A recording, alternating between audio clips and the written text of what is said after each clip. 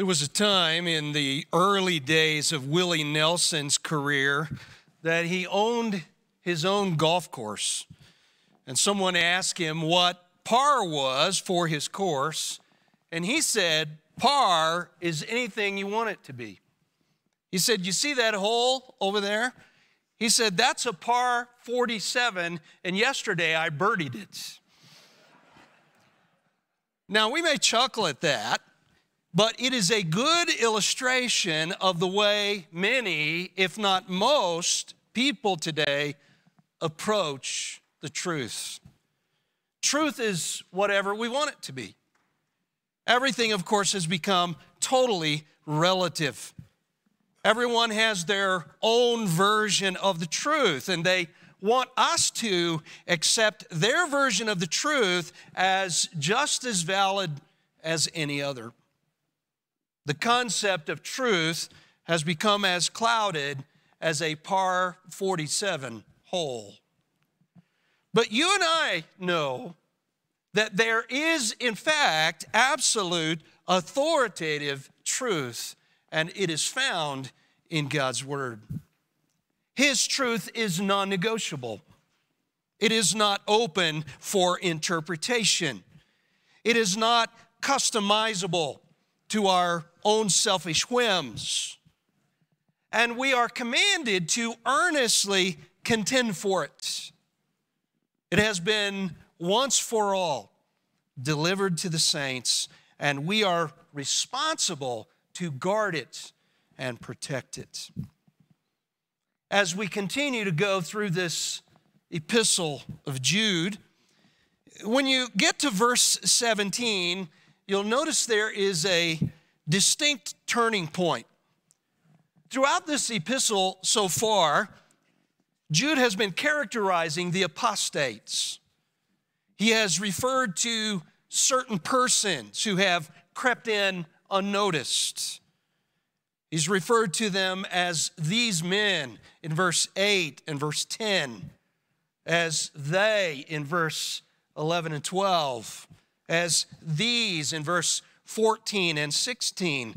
But suddenly, when you get to verse 17, it says, But you.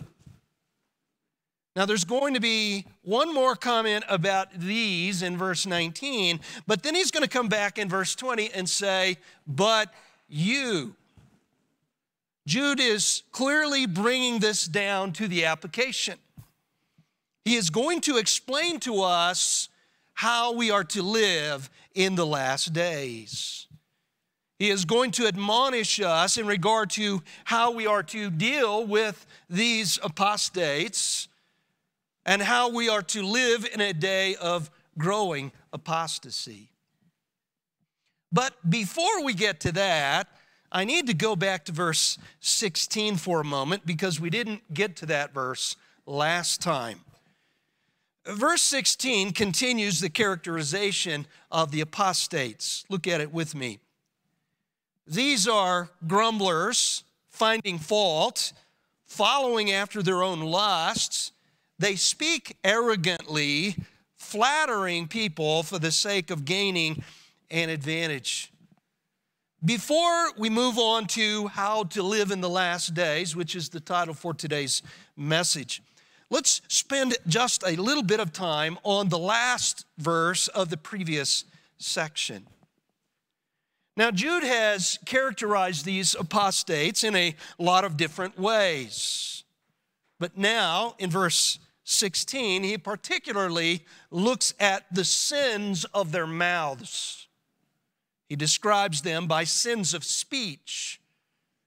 He says, first of all, they are grumblers. They're grumblers. It's an interesting Greek word there. It's the word gongustes. It means to murmur. It is a word that is used to describe the children of Israel in the wilderness as they murmured against Moses. In the Septuagint, it's used to describe someone who murmurs against God. And in essence, that's really what they were doing. They were complaining to God about not having anything to drink or anything to eat, etc., etc. in the New Testament, the Jews also murmured against God's provision of the bread of life. We read in John 6 41, the Jews therefore were grumbling about him because he said, I am the bread that came down out of heaven.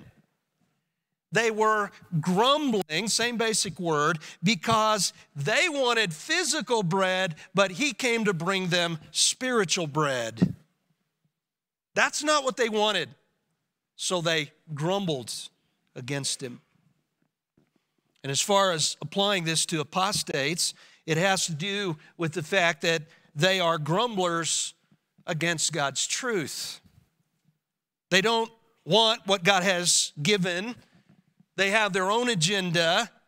They are not content with the truth God has revealed to us in His Word. They want something new and novel and entertaining that appeals to the flesh, so they turn to other things. They turn away from the truth of God to other things.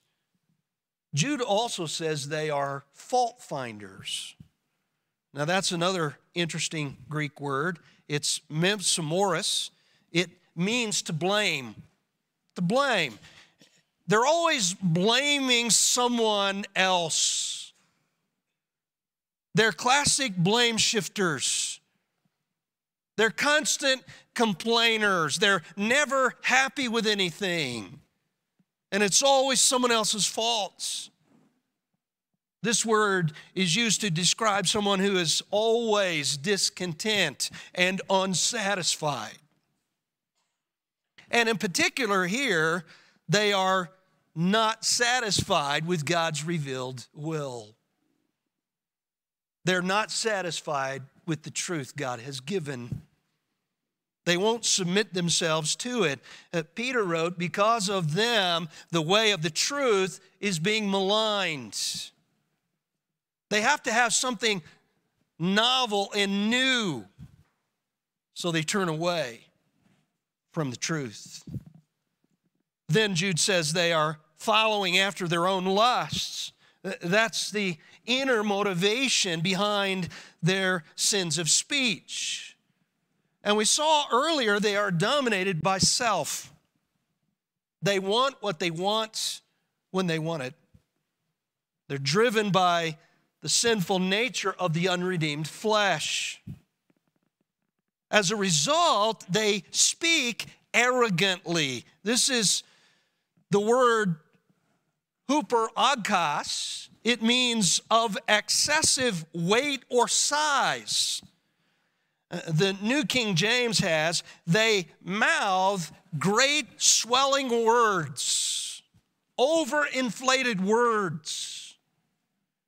The ESV says they are loudmouthed boasters. Their focus is all on themselves, and therefore they're always talking about themselves, and they do it with great swelling words of self exaltation.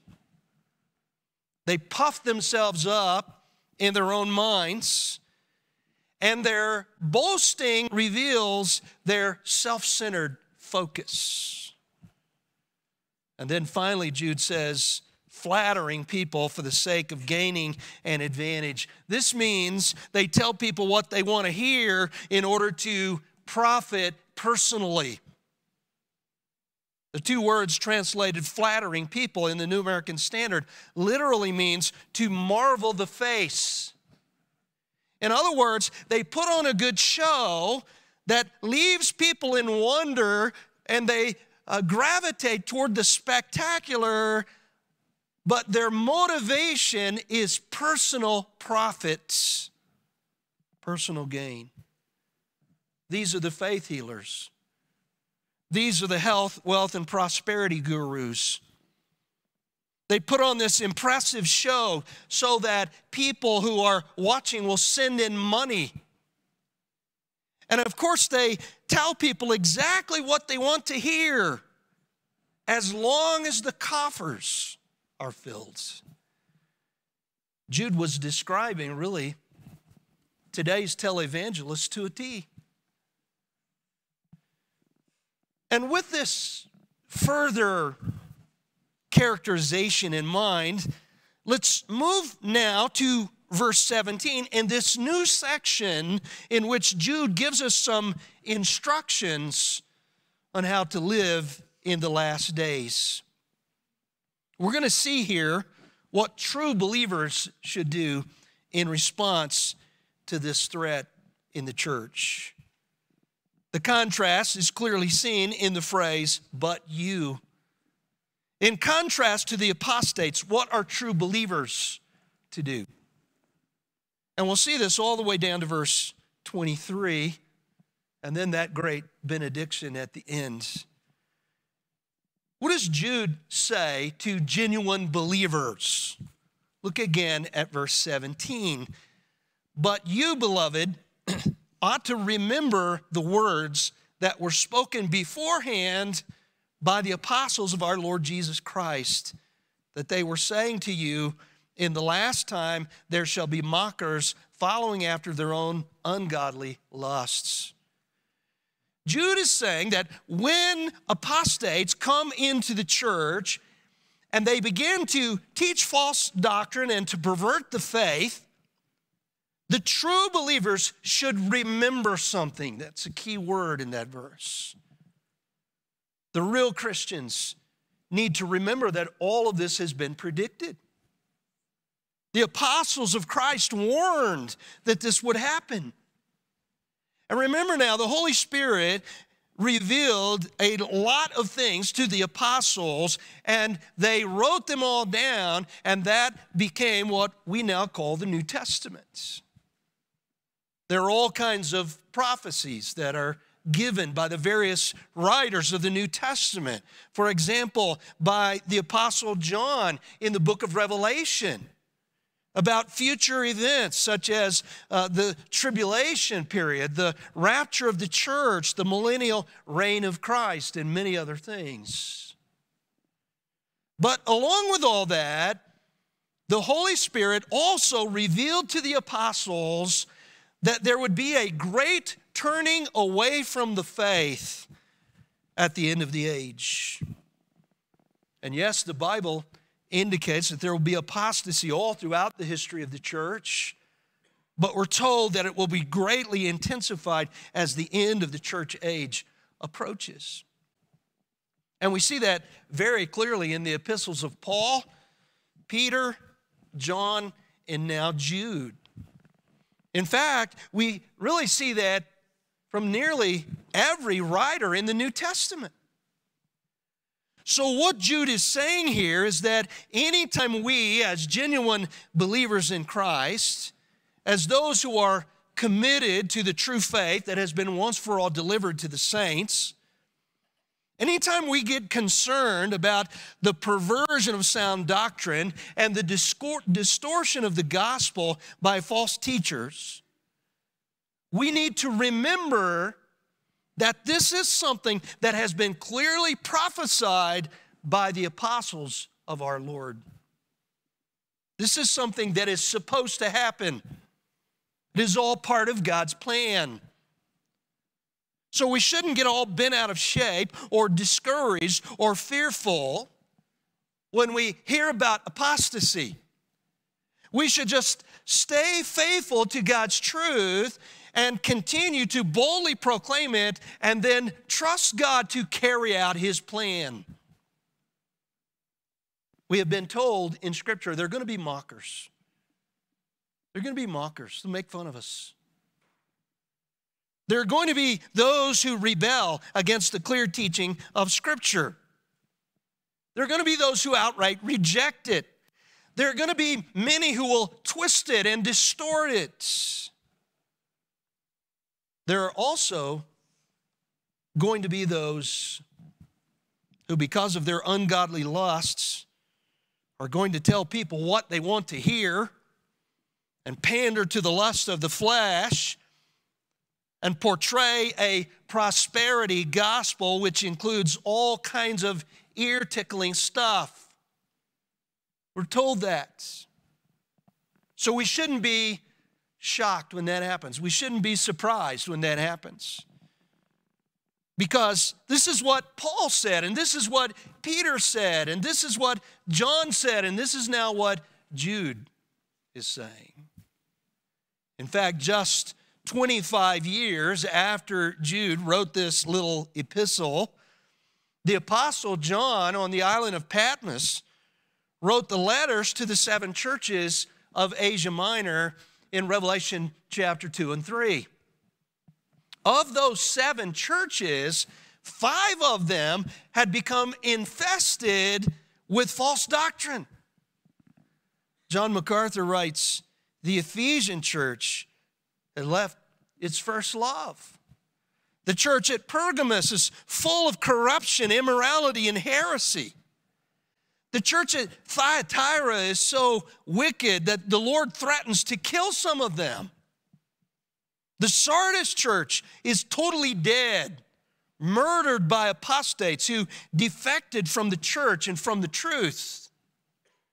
And then there is that famous Laodicean church that makes the Lord so sick, so nauseous that he says he's going to vomit them out of his mouth. We see this very early on. This is, of course, after the time of Jude, but even before this time, Paul had already warned the church of the danger of apostasy and had called the church back to sound doctrine. In Ephesians chapter 20, he had warned the Ephesian elders be on guard for yourselves and for all the flock among which the Holy Spirit has made you overseers to shepherd the church of God, which he has purchased with his own blood. And then he said, I know that after my departure, savage wolves will come in among you, not, spare, not sparing the flock. And from among your own selves, men will arise, speaking perverse things to draw away the disciples after them. Paul knew that as soon as he left, these false teachers would begin to move in. And historically, of course, that's what happened.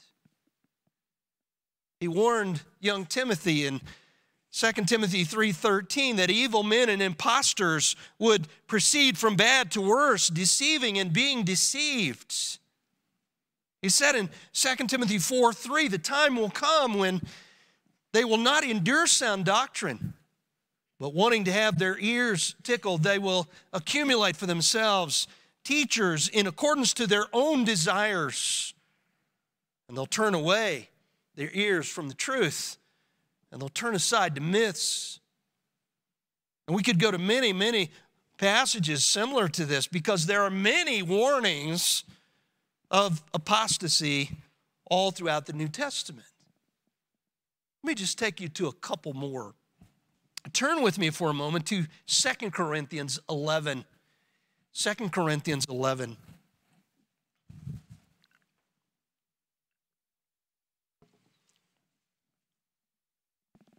Second Corinthians 11, look with me at verse 13.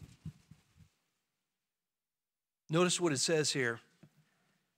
And Paul is referring here to those who have been attacking him.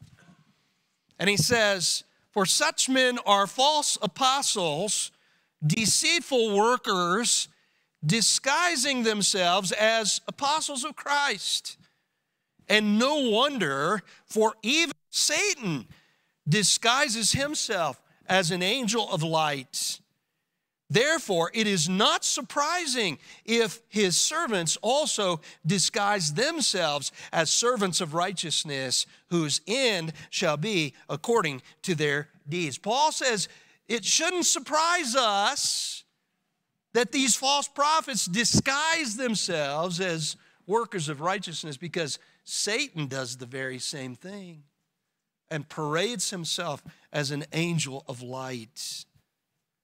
So, this tells us there were already false teachers in the church at Corinth in the days of Paul. In Colossians 2:16, we're informed that there were also some in the church of Colossae at this time. And there we read, therefore let no one act as your judge in regard to food or drink, or in regard to a festival, or a new moon, or a Sabbath day, things which are a mere shadow of what is to come, but the substance belongs to Christ. Paul is talking here about the Judaizers who were trying to pervert the gospel by adding to it. But he goes on to say, Let no one keep defrauding you of your prize by delighting in self abasement and the worship of the angels, taking his stand on visions he has seen, inflated without cause by his fleshly mind, and not holding fast to the head from whom the entire body, being supplied and held together by the joints and ligaments, grows with a growth which is from God. Paul warned of those who were going to uh, delight themselves in self abasement. They're going to exalt themselves. They're going to talk about the worship of angels. They're going to take a stand on visions they supposedly had seen. And rather than holding fast to Christ, the head,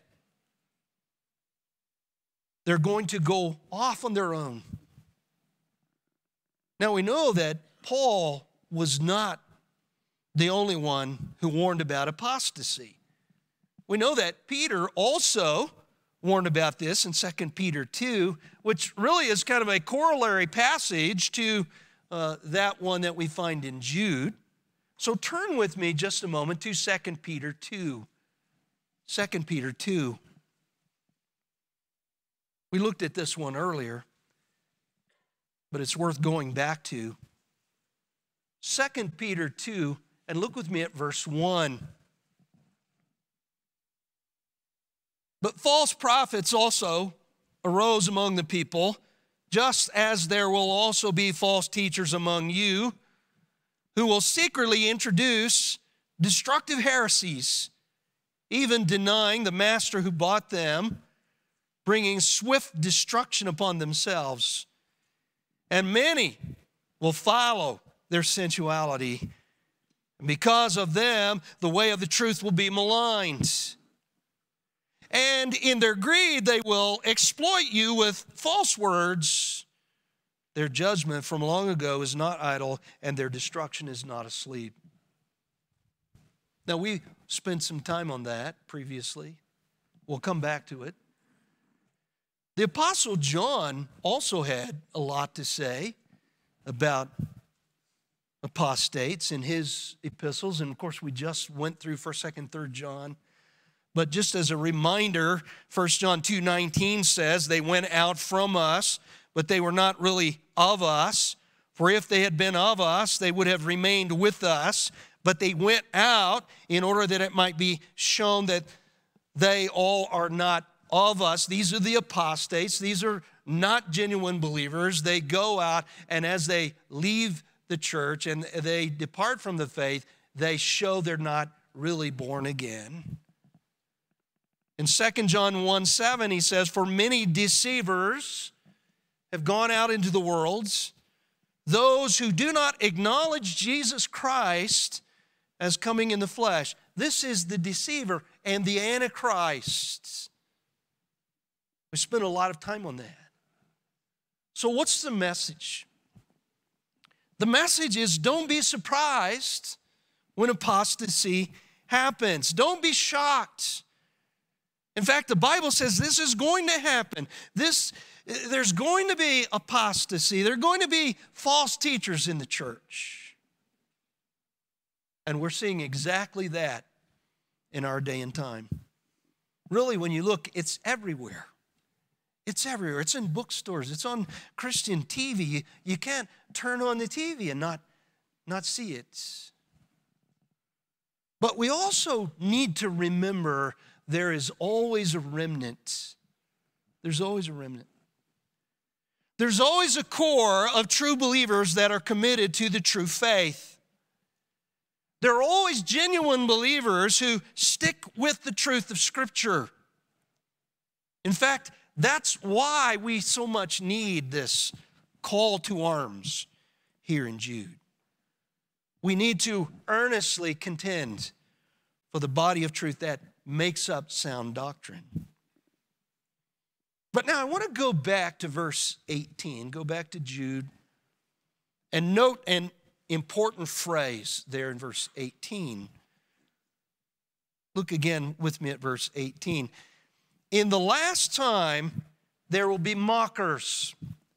Now, what I want to point out here is that this phrase has a general meaning and a specific meaning. Technically, theologically, the phrase, the last time, has to do with the entire church age. It has to do with the time in between Messiah's first coming and his second coming. So we could say that there is going to be apostasy all throughout the entire church age. That is the general sense. And we know from history this is what has happened. There have always been false teachers in the church. There have always been those who have brought heresy into the church and perverted sound doctrine. But I believe we also need to see this phrase as referring to something more specific. And that is, it points to the fact that as the time of Jesus' second coming approaches, apostasy is going to come much more pervasive. Much more pervasive. In fact, in fact, Paul addresses a time of great apostasy in connection with the return of Christ in Second Thessalonians chapter 3. He says that the day of the Lord will not come unless the apostasy comes first. And there may be some merit in seeing the church at the very end of the age of grace as being characterized by the church of Laodicea, which was a totally dead and unregenerate church. But the Bible indicates there's going to be a great falling away from the true faith at the end of the church age. And we very well may be in those days. If that is the case, this message from Jude is so very important. We need to heed the command of this passage to remember these things. And Jude is saying here whatever apostates may do or say, don't be deceived by them. Hold on to the revelation of God that has been authored by the apostles and those affiliated with them. Stick with the truth of the New Testament because this is what is going to anchor you in the last days. This is what is going to provide you security against false doctrine and false teaching. And going back to verse 17, remembering is one of the most important elements in Christianity. It's in the imperative form here. This is a command. Make sure you remember. And listen, the way forward in the Christian life is not by some modern innovation. It's not through some kind of new revelation from God. It is that of recalling what has already been revealed through the apostles of Christ. That's what the Christian life is all about. In fact, the truth is, if it's new, it's not true. If it's new, it's not true if it's not in conformity to that which has been once for all delivered to the saints through the apostles and those affiliated with them, it is false doctrine and it must be rejected. This is a clear message from Jude. And we need to remember all the sound doctrine that has already been revealed to us through the apostles of Christ. And we need to remember that the apostles predicted that apostasy would come. And in light of this, we need to do three things. Three things. And this is going to be our outline for the rest of today and for probably a couple more weeks. We need to do three things. First of all, we need to be informed about who the apostate is, what he does, and why he does it. We need to be informed. Secondly, we need to be insulated by keeping ourselves in the love of God. And then, thirdly, we need to be impeccable in our witness to a world without Christ. So, with the time that we have remaining, which is just a few minutes, let's kind of go through these one at a time. And the first thing we need to do is we need to be informed. Informed. We need to be informed regarding three big questions about apostates. We need to know who they are, we need to know what they do, and we need to know why they do it. Every true believer should be informed regarding these three questions who, what, and why. So, very quickly, let's spend just a little bit of time on each one. We're not going to get all the way through this today, but we'll at least get started. First, we need to be informed of their identity. That's the who. And you may be thinking, well, but Pastor, uh, you know, that's been what this whole epistle has been explaining. I mean, Jude has been characterizing these guys all the way through this. And he's used illustrations from Old Testament history and he's used illustrations from the world of nature. Really, that's all we've seen. Yes, that's true. But in 18, verse 18, he brings this all down to one final summary. Look at verse 18. In the last time, there shall be mockers following after their own ungodly lusts. And here, Jude is obviously quoting 2 Peter because this is almost verbatim what Peter wrote in 2 Peter 3 3.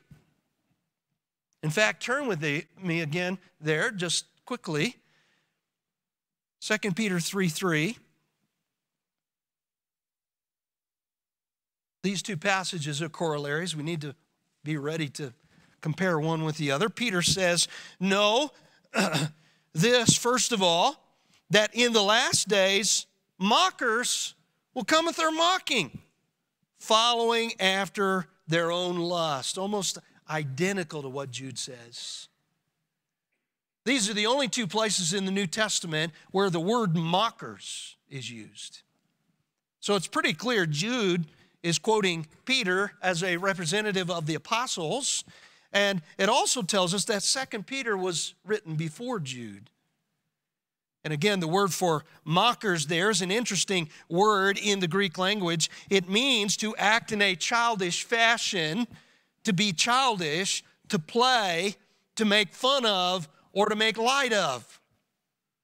And by the way, this term is closely associated with the unpardonable sin that is described in Matthew 12, 31, and 32, where it says, Therefore I say to you, any sin and blasphemy shall be forgiven men, but blasphemy against the Spirit shall not be forgiven. And whoever shall speak a word against the Son of Man, it shall be forgiven him. But whoever shall speak against the Holy Spirit, it shall not be forgiven him either in this age or in the age to come. The sin of blasphemy against the Holy Spirit is tantamount to making light of his witness concerning Christ and therefore rejecting salvation by grace through faith in him. But in the case Jude is referring to, apostates are those who make light of the Word of God. They make fun of God's Word. They're mockers who belittle the truth that God has revealed. They reject its authority over their lives, but instead they pursue their own lusts. They do not want a God to whom they are accountable. They want to follow their own way and pursue their own goals and their own passions, so they distort the truth to justify their sin. This is why we need to be clear as to who these people are. But secondly, we also need to be informed of their intent. That's the what. That's the what. Look at verse 19. These are the ones who cause divisions, worldly minded, devoid of the Spirit. What do they do? Well, first, they're sensual in their behavior. The word for worldly minded there can be translated sensual. So, once again, we see where apostasy and sensuality are linked together in Scripture. As Jude has said, they have turned the grace of God into licentiousness, just like those in Sodom who gave themselves over to gross immorality. They have indulged the flesh, they have foamed up their own shame, they have done ungodly deeds, they have followed their own ungodly lusts. So we really should not be surprised at all when there is scandal involving immorality in the church, when there are false prophets. Because what you have here really is a religious person who has no ability to control the flesh because he's never truly been born again. In fact, Jude says they're devoid of the Spirit. They don't have the indwelling Holy Spirit in their life to provide, first of all, a new nature, and secondly, the power to overcome sin. So, of course, they're going to be controlled by their lusts, just as those who don't even make a claim to be a Christian. But it's interesting that the word for worldly minded there in verse 19 is the Greek word psychikos, from where we get our English word psychology. It basically means soulish. Now, some want to use this to justify a tripartite view of man that we are body, soul, and spirit. And I may do a, a, message or two on that to clarify that. But to the Greeks, this was an aspect of physical being. The word pneuma is the word that is used to describe the inner man. This was part of the outer man, the psychikos. But it's interesting that another translation of the word psychikos is the word natural.